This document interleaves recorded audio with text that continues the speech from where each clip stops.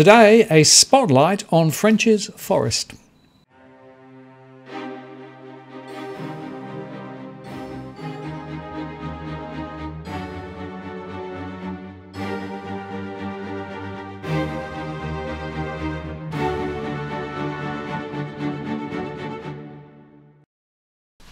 Hello again, it's Martin North from Digital Finance Analytics. Welcome to this post covering finance and property news with a distinctively Australian flavour. Today I'm going to take you through my analysis of Frenchs Forest. That's a postcode north of Sydney's CBD. Quite green, quite leafy, but also an area which is under considerable transformation at the moment. So there are some quite interesting dynamics to look at. I should just sort of go through my normal reminder that this isn't financial advice, right? I'm just using my modeling to essentially figure out what's going on. But I use data from my surveys, I use data from uh, all sorts of other sources. And we've been modeling this for quite a few years. The data is very recent. The last surveys were this Tuesday. So it's, it's just worth sort of contextualizing it. So, in other words, this is pretty up to date. And as a result of that, uh, I'm pretty confident about uh, what I'm what I'm seeing.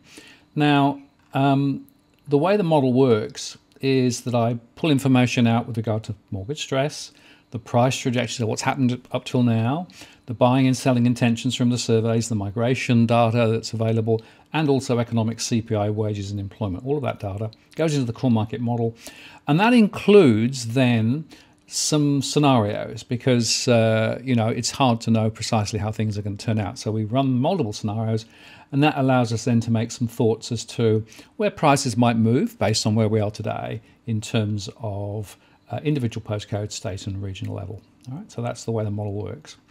And what I'm doing here is drilling into Frenchs Forest uh, 2086. Now you said houses and units. Um, units is almost a sort of not a happening thing, right? There's just a few, but uh, um, so it's mostly houses, but anyway, that's the area. And uh, just to sort of re-emphasize it, you'll know, of course, 13 kilometres north of Sydney CBD, in the Air Government Nor- Northern Beaches Council.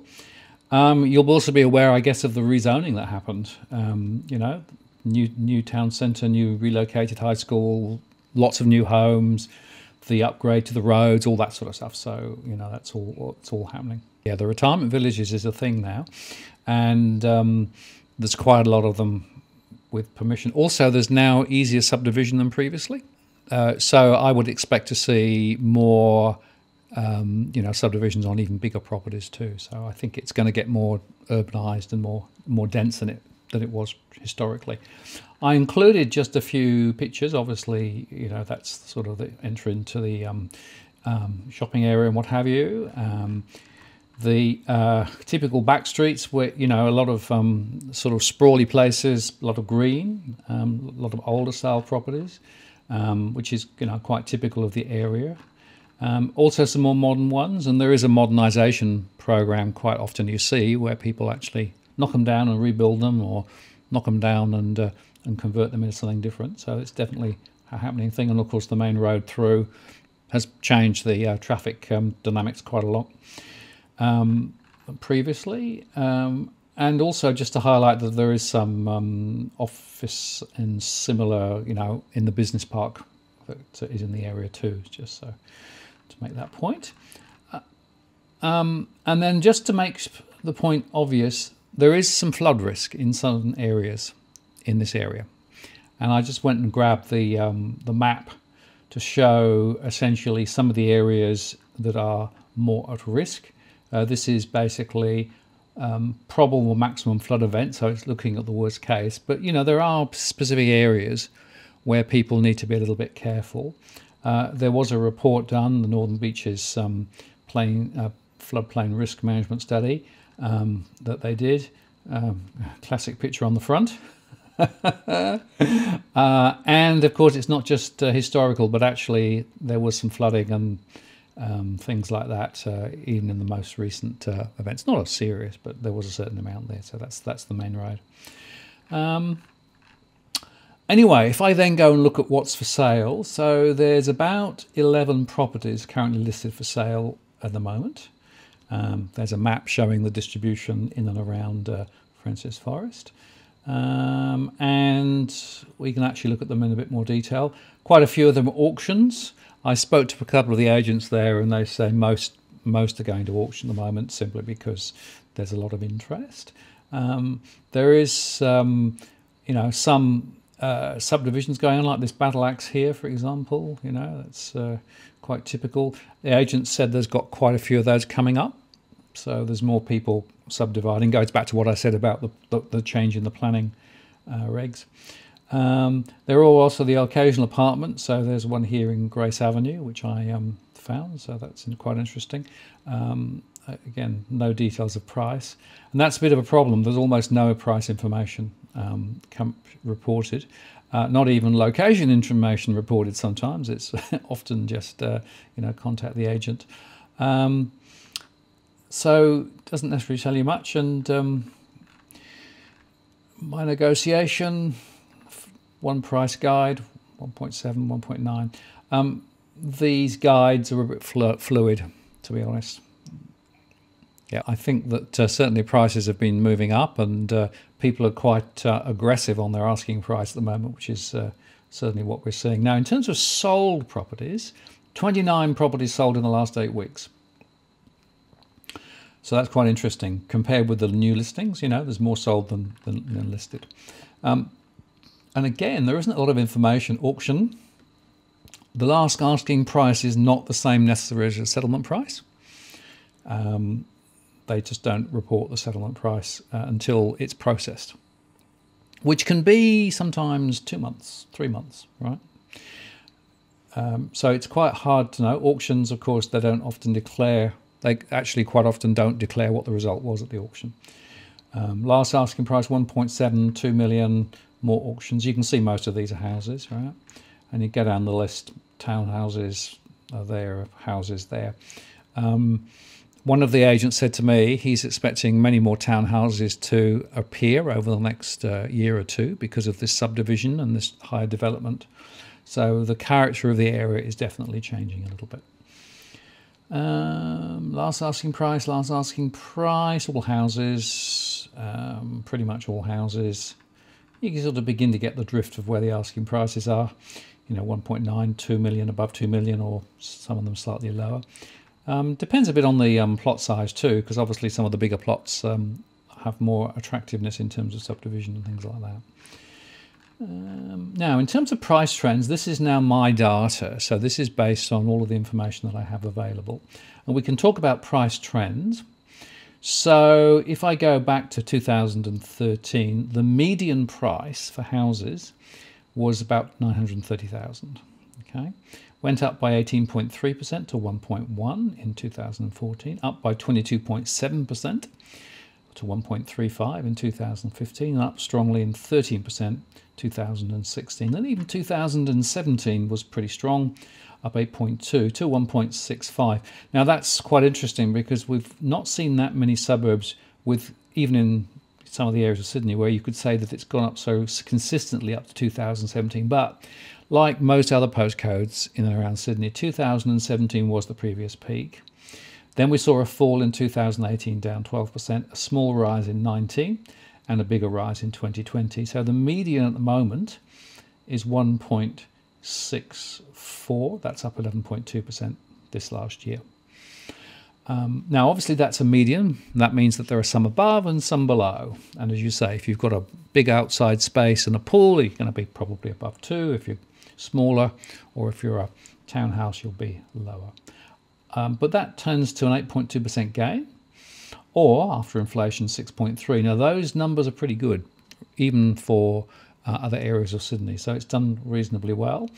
And that 12.1% is quite a lot lower than a lot of the um, drops that happened in 2017 18. Houses didn't drop as much as units, but even amongst houses, this is you know pretty good. So I regard this as a relatively stable and therefore, you know, reasonably attractive uh, location, even with some of the changes we've discussed. Now, I don't know whether you've looked at the Valuer General data, but you can get all of the transactions of settled properties from the Valuer General.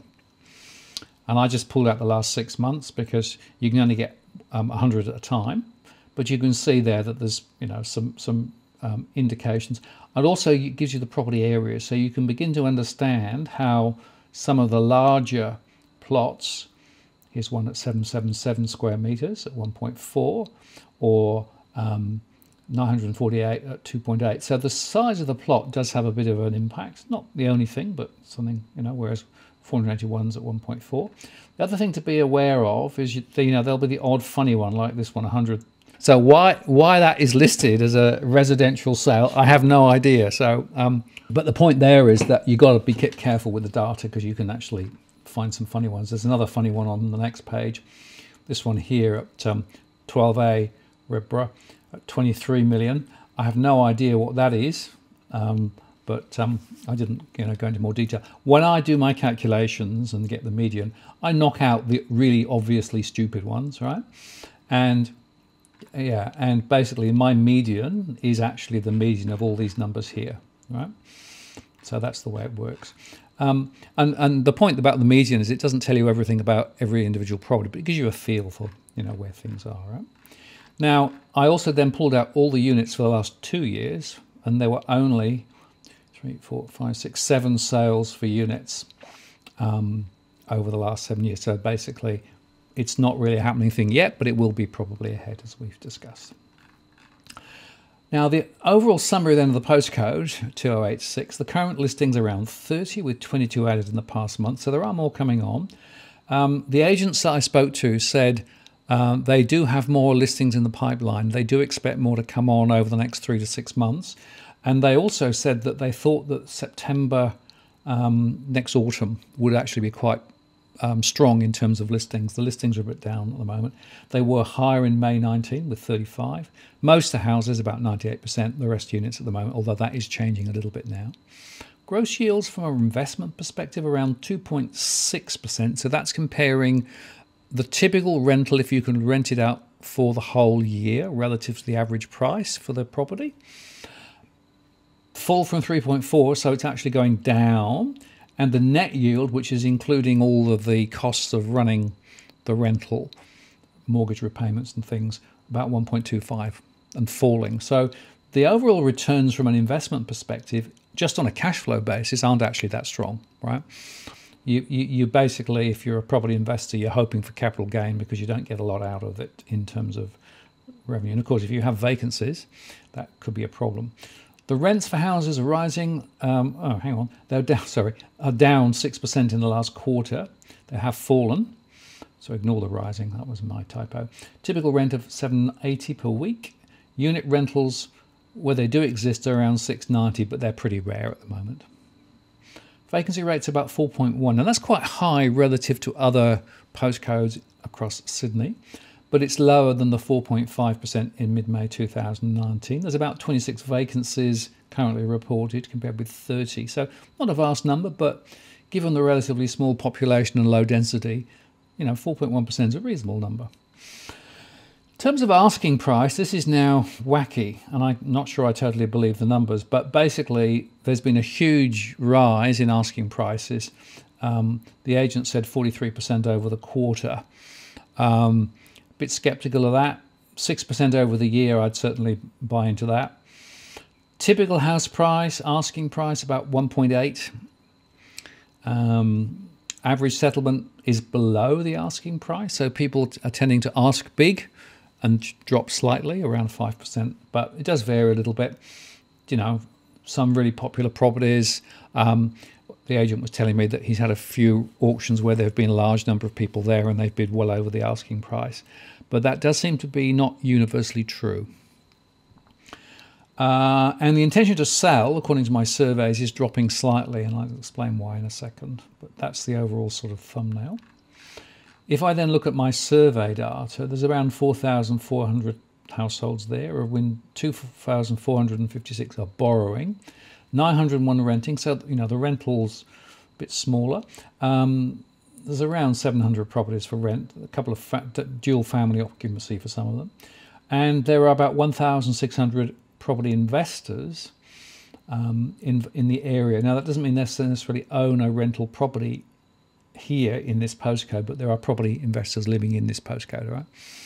uh, which is quite interesting. 48% financial stress. That's my overall top level cash flow measure. 48% higher than the national average, which is about 42.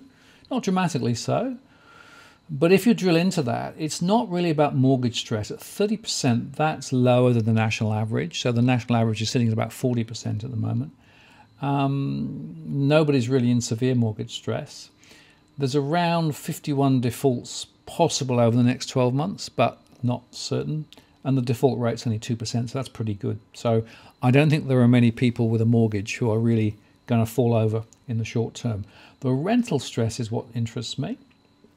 Got very high levels of rental stress. So I think it probably goes back to that issue of, um, you know, the rents dropping a bit and you know all those things. But in response to what we're happening here, people are finding it quite difficult to pay the rents, and as a result of that, you can see that some of the property investors who are living in the area are in difficulty. Now, that doesn't necessarily mean that they've got the investment property in this area, but they are definitely under pressure in this area, and that means that they may have to do something either with an investment property or indeed in the property they actually own. So that's one of the reasons. So and again, the agent that I spoke with said, yeah, he knows a couple of um, case studies where the homeowner is considering potentially selling their main property because the investment properties that they've got elsewhere are underperforming. Right.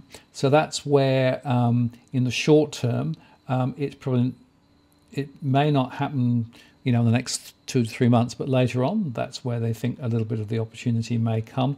In terms of stress it's relatively low. I don't think you're going to see many forced sales, might see one or two, but um, there aren't that many people now on the interest and principal holiday repayments. Um, now, if I then go to my scenario, so this is basically the way I, I, do it. So I have three scenarios. I call it my best case. So this is in the assumption that the virus gets under control, the borders open early next year, the vaccines get rolled out, and you know everything's fine. And in that scenario, I'm looking, this is a cumulative number, 5% rise in 21, another 3% in 22, and then a slight adjustment down in 23. My longer term crunch scenario is the assumption that we might get more of the local outbreaks, that the international borders might not get open as quickly, and we might essentially you know, stagger on a bit like it's happening in Queensland and up in Byron Bay at the moment.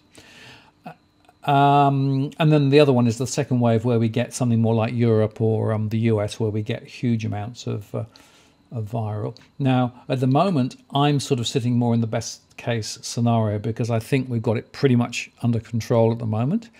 Um, they need to roll out the vaccines, of course, but I don't think international borders and therefore things like students and um, you know, international migration is going to really start this year at all. It's going to be next year before it really starts up. So that's going to put a little bit of a lid on what's going to happen in the short term. But next year, my assumption is that that will actually give a little bit of kick to to the market as a, as a result, right?